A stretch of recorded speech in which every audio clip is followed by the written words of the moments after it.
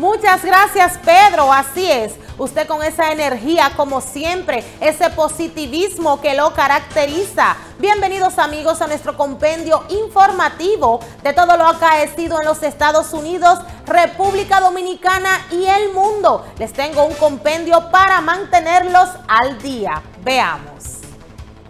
Aunque en algunas entidades como Nueva York, Parece que el invierno no está presente, las tormentas de la temporada impactan de algún modo. Un medio local alertó de una tormenta de nieve que ya afecta la zona central del país, principalmente en la zona de las montañas rocosas en Colorado, pero avanzará hacia el este impactando a varias entidades con lluvia, agua, nieve, hielo o nieve. Agrega que el clima está cambiando constantemente, por lo que las proyecciones de nieve pueden modificarse conforme avance la semana. En algunos puntos ya se reportan nevadas como el aeropuerto internacional de Salt Lake City con 5 pulgadas y el cierre de vialidades interestatales. Por ahora, las ciudades bajo una advertencia de tormenta invernal incluyen Salt Lake City, Chayans, Wyoming y Denver. A partir del miércoles, los efectos serán más hacia el noroeste y este en entidades como Illinois, Wisconsin, Michigan, Ohio, Pensilvania, la región de Nueva Inglaterra, el norte de Nueva York, y algunas zonas de Nueva Jersey. Los neoyorquinos experimentarán más lluvias y días con climas casi primaverales, pero los meteorólogos no descartan cambios en los siguientes días.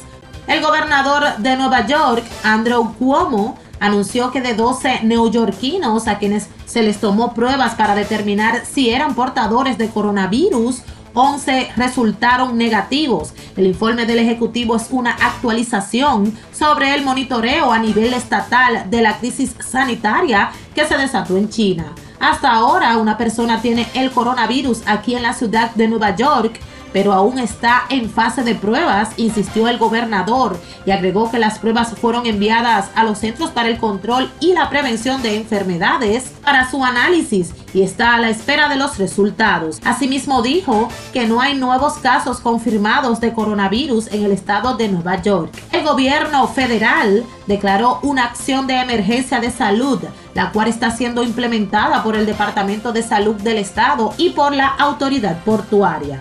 En cuanto al aeropuerto John F. Kennedy, la situación está a cargo de Rick Cotton, el director ejecutivo de la autoridad portuaria, y el doctor Howard Zucker, el comisionado del Departamento de Salud del Estado. Los vuelos sin escalas desde China continental solo podrán aterrizar en siete aeropuertos y el John F. Kennedy es uno de esos terminales. La autoridad reveló que estaban programados dos vuelos sin escala desde China continental para aterrizar en el aeropuerto Kennedy, pero ambos vuelos fueron cancelados. Además, el gobernador anunció que los neoyorquinos pueden llamar a una línea directa al 1888 364 3065 1888 364 3065 donde los expertos del Departamento de Salud estarán disponibles para responder preguntas sobre el nuevo coronavirus. En el estado de Nueva York, desde que comenzó la temporada de gripe, se han reportado más de 70 mil casos de gripe. Lamentablemente también hemos tenido cuatro muertes pediátricas durante ese tiempo, declaró el doctor Zucker. Y continuando con el coronavirus, ante el incremento de casos en los Estados Unidos y el aumento de las alertas a nivel mundial, el Departamento de Seguridad Nacional implementó nuevas restricciones en vuelos del extranjero al país con una mayor vigilancia a personas que hayan visitado China sin importar su origen.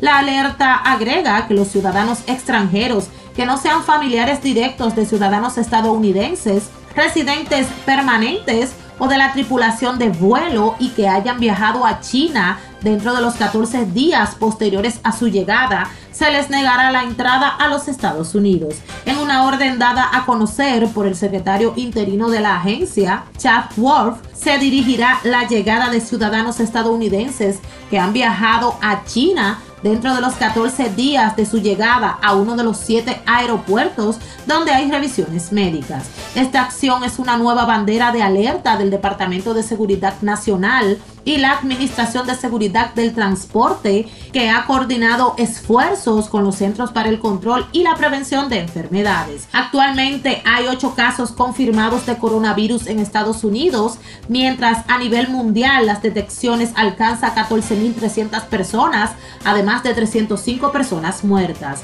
El personal de Inmigración y Protección Fronteriza las compañías aéreas se coordinan para identificar a los pasajeros que califican a las nuevas disposiciones antes de que aborden sus vuelos hacia Estados Unidos. Dominicanos residentes en Nueva York que se benefician de ayudas públicas del gobierno de los Estados Unidos, entre ellas cupones de comida, apoyo de vivienda, asistencia de alquiler, vivienda subsidiada, Medicaid y parte de Medicare, se sienten preocupados por la decisión tomada por la Suprema Corte sobre la carga pública. Los quisqueyanos, no queriendo identificarse porque son beneficiarios de las mismas, indican que están en procesos de pedir a sus hijos padres y esposos y la Suprema Corte levantó una orden judicial a nivel nacional, dando luz verde a la administración del presidente Donald Trump para que las autoridades de inmigración determinen si un extranjero que solicita residencia permanente es inadmisible a territorio estadounidense. Inmigración actuará bajo la sección 212 de la Ley de Inmigración y Nacionalidad y determinará quién puede ser considerado dependiente del gobierno y por lo tanto negarle a obtener la residencia permanente y otras visas. El nuevo sistema para pagar en el subway de la Gran Manzana, conocido como Omni, el cual reemplazará a las tarjetas MetroCard, será expandido este mes a por lo menos 37 estaciones en el Bronx anunció la Autoridad Metropolitana de Transporte. Omni, que significa One Metro New York y que comenzó a aprobarse desde mayo del año pasado, se espera esté funcionando por completo en todo el sistema de trenes subterráneos y autobuses en el 2023.